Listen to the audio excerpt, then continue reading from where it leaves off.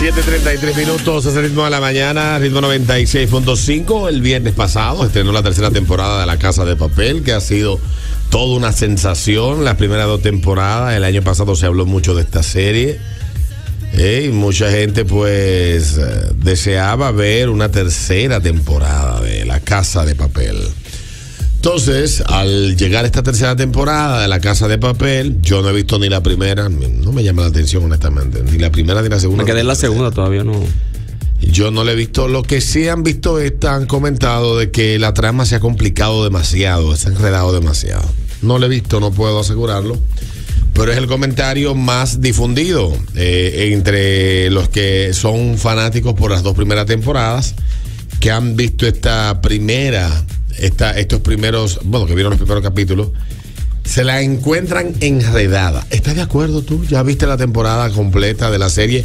Hay gente que para evitar que le hagan spoiler se ha sentado y la ha visto de un, de, un, de un solo fuetazo.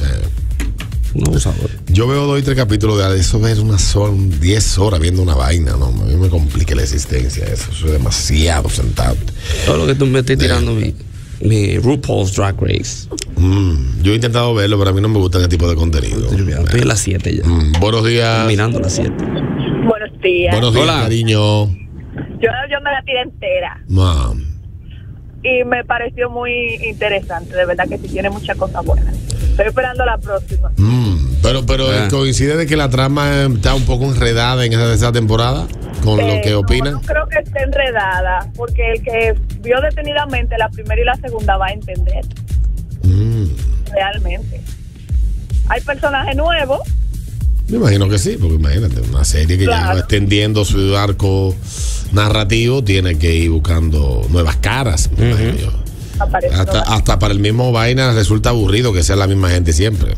No, tiene nuevas caras y realmente el plan que ellos ideola- eh, idearon, Idearon. sí está muy, muy interesante. Ah, qué bueno, mi amor. Buenos días. Qué, ¿qué lo que? Dale, casa de papel. Hay un punto que yo no sé si como yo se dieron cuenta. ¿Qué pasa? Eh, Tokio, todo el mundo la conocía porque Tokio era prófuga. Y cuando van a entrar a- a- al Banco de España, Tokio está sin una careta y sin nada, y sin el tapaboca, y se le para al lado a la Guardia Civil, y entonces se supone que ella la conoce todo el mundo, y nadie dice que la conocía, ella vestía de guardia con la cara fuerte. Ahí falla. Y ahí fallaron. Dice que fallaron. Ya este dio un spoiler. Exacto. Ah, estamos hablando de si te la encuentras enredada. No, no le den spoiler a los que no lo han visto. Coño, no sean así, no sean de considerar. Por favor. Yo, no lo he visto. A mí, me- yo no lo a he mí visto. los spoilers me valen un carajo. Yo me da igual. Pero eh, eh, ciertamente esta trama está enredada. Está muy enredada. Dice una jeva que no, que el que vio la primera y la segunda, pues Que va a entender. va a entender. Yo no he visto ni la primera ni la segunda y dudo mucho que vea la tercera. Así que a mí sí no me preocupa en absoluto si está enredado o no está enredado, pero es el comentario más difundido en estos dos días eh, para aquellos que se han sentado durante el fin de semana y han visto la temporada completa. Coño, que ser bárbaro, viejo. Yo estoy esperando una serie que se llama After Space Es buena esa. Me dice por aquí que ya sí, por ahí sí. viene la cuarta temporada de La Casa de Papel. de la Casa de Papel. Yeah. Buenos días. Buen día, buen día. Dale. Eh, la serie me pareció genial, realmente. Eh, sí se complica el final, que tú, pero la gente es lo que dice que se complica, pero es que realmente tú no sabes cómo es que ellos van a salir de esa complicación en que se meten. De ese brete que se arma al final. Sí, al final eh, le hacen un brete ahí, le juegan con la misma carta, básicamente. Pero Mm. está muy buena. Y Palermo, genial, que es el personaje nuevo. Mm. Genialísimo, realmente. Sí, pues le han puesto los nombres de todas las ciudades. van Sí, sí. Sin capitales. Me llaman por una ciudad. Palermo no es. Palermo, sí. Llaman por segunda ciudad y vaina. Bueno. Buenos días. Y no hay alguien que llame Santo Domingo. Buen día, equipo. Dale buenos días. Duque La Sursa. La Sursa, una vaina así. Está, está chulísima, de verdad la serie tiene una calidad 10 de 10, de verdad. Te, te la recomiendo, Alberto, de verdad. Muy, muy dura la serie. Yeah. Los que dicen que no, que se complican es porque quedó como Infinity War, que quedó con más dudas que respuesta. Pero eso no es complicación, eso son dudas que vendrán en la cuarta temporada. Pero muy dura, de verdad. De verdad. Bueno. Buenos días. Pero está del diablo que tú llames con ese volumen a todo lo que da, pero ni muerto te voy a Abusador. abusar. Buenos días. Eh, yo no digo que está enredada. Lo que pasa es que está entrelazada con las otras dos. Mm, Y ahí te explica otras cosas que en la otra tú tenías como incógnita. mm, dudas. Pero esta al final se complicó un poco, pero es para poder tener una cuarta temporada. Pero está buena, muy buena. Sí, porque yo creo, mucha gente eh, la- la- la- el año pasado, mucha gente comentaba que la serie terminaba en la segunda temporada Exacto, ya, porque ya. y que ahí la historia ya había sido concluida. Eh, y mucha gente también comentó de que, bueno, ya van a hacer una forzar una tercera temporada. con van a la historia, dañar. La van a dañar porque ya eso quedó concluido en el cierre de la segunda temporada. Esa fue la opinión de mucha gente cuando se anunció la tercera temporada, que la inmensísima mayoría de la gente recibió con beneplácito. Pues, hay que reconocerlo, la Casa de Papel ha sido un fenómeno. Eh, eh, a nivel a nivel internacional, no solamente en República Dominicana, también en Puerto Rico, países de Sudamérica, México, por ahí. De verdad, Netflix ha dado un palo con esta serie. Creo que es de producción española. Sí. Se transmitió en la televisión española, pero no sé, no sé el canal ahora mismo. Y para América Latina, para las Américas, eh, se transmite a través de, se emite a través de Netflix Ya. de TV Killer. 739, buenos días. Yo creo que la forma en que ellos entrelazaron las series anteriores es muy buena. Y hay que hay que mantener al público en esa incertidumbre que no pueden acabar la serie de una vez. Bueno, sí, tienes razón. Para enganchar. Es para engañar. Para engancharte. ¿Verdad, muchacho? Tú agarras y mata una serie que te produce dinero, de que ya, que ya la terminamos. No, mi amor, dámele, dámele. O que pase como Juego de Tronos, que los escritores, como querían irse a escribir películas para Disney, que le ofrecieron todos los cuartos del mundo más dos pesos, cocinaron en la tercera temporada y hicieron una porquería. Está esta, digo, esta última temporada. Y, a uno lo mataron con seis capítulos. Entonces, unos capítulos, una porquería. O sea, y yo no sé si los libros son así, pero de verdad, o sea, dejaron mucho que desear. Algunos de ellos, otros con mucha calidad. Pero, no sé, como que. Yo que soy un seguidor de Juego de Tronos, puedo decir que esta temporada me dejó con un sabor agridulce en la boca. A A pesar de que- hierro. Sí, a hierro, como el trono, sí, como. eh, A pesar de que este, este carajo, este, la Jon Snow mata a la reina de los dragones al final del último en el último capítulo. A mí eso no me, no me genera tanta frustración como el hecho de otras vainas. Por ejemplo, yo me- nunca me expliqué por qué el tuyo tuvo que terminar siendo rey. Eh, Por ejemplo. El tuyo. Sí, porque terminó como una novela de Televisa, viejo.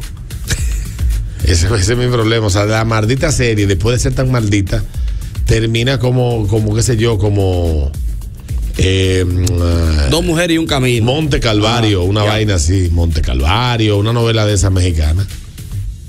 741, estamos hablando de La Casa de Papel. Mucha gente ha visto la temporada nueva, este fin de semana la vieron completa. Algunos han comentado que, bueno, que la serie la han enredado mucho. ¿Usted qué opina? Mm, buenos días. ¿Opina usted? Buenos días. Dale, cariño. No, no es que la han enredado, es que la trama es interesante y dado a que un robo en un sitio como yo me temo en el Banco Central, tú no puedes poner la cosa tan simple. Pero la película es excelente. O sea, la En serie la excelente. Ah. Es excelente. La, la pueden ver ustedes dos, de verdad. Se van a enganchar. Pero no, no, Muy no, buena. No me atrae. Y lo hubiese ido a ver la veo del primer capítulo. No, yo vi la primera. Me No, falta no. la segunda y la tercera. No es el tipo de. no, de verdad, no es el. Yo he visto ya. O sea, mi- a- comenzando que a mí las series de robo, ladrones y vainas no me gustan. ¿Te gusta más la fantasía? Soy más de fantasía, más de vainas. Sí. Sí, soy de otra cosa. A mí esas vainas telenovelescas y de chuleadera y de vaina y de, y de romances entrelazados con robo y cosas descabelladas no me atraen, nunca me han gustado. Por eso no veo novelas mexicanas. Yo estoy ahora mismo en anime en Netflix.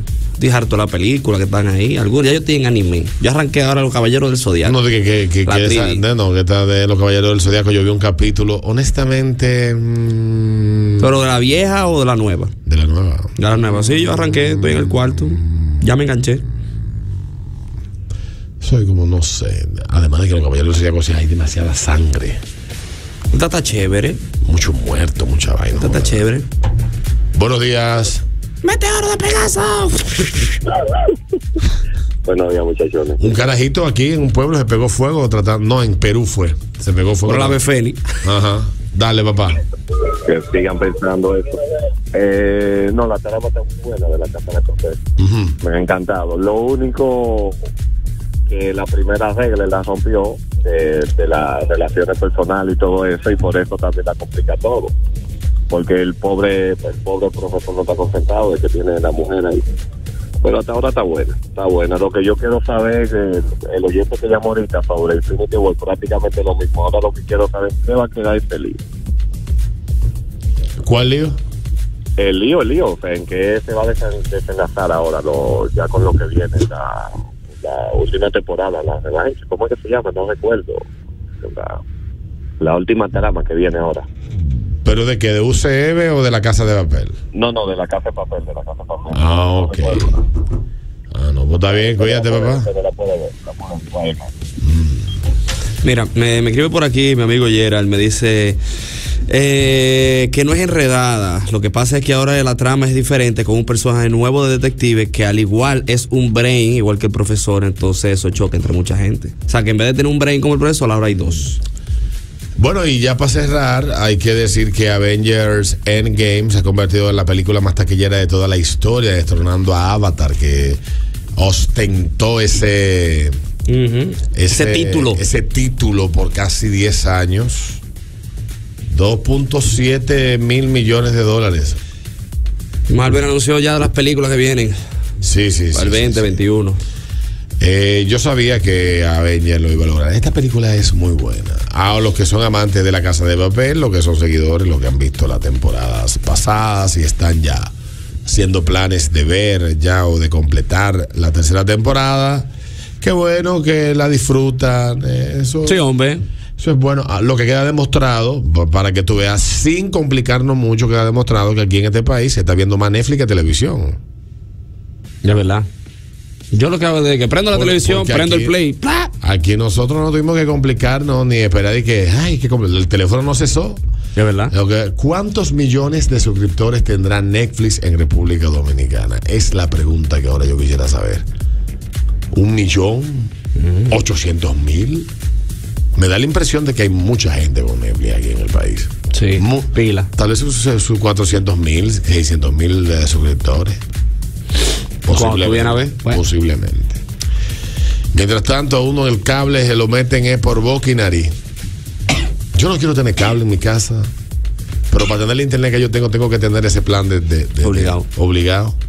Yo quisiera tener ah, solamente el, el internet, ni siquiera el teléfono me interesa. El inter- Ay, el internet, el internet, el internet. Tachan. Pero es que ese plan de esa Ese velocidad bueno. viene atado con ese, con ese paquete Legal. de televisión. Yo duro hasta dos meses sin ver televisión, Wow. para que tú sepas. Yo no, yo veo televisión a veces. Sí, si no está en YouTube, yo no lo veo. Ya. Sí, yo me he hecho adicto a YouTube. Son las 7:46 minutos, el ritmo de la mañana, ritmo 96.5. Ya venimos. No te vayas.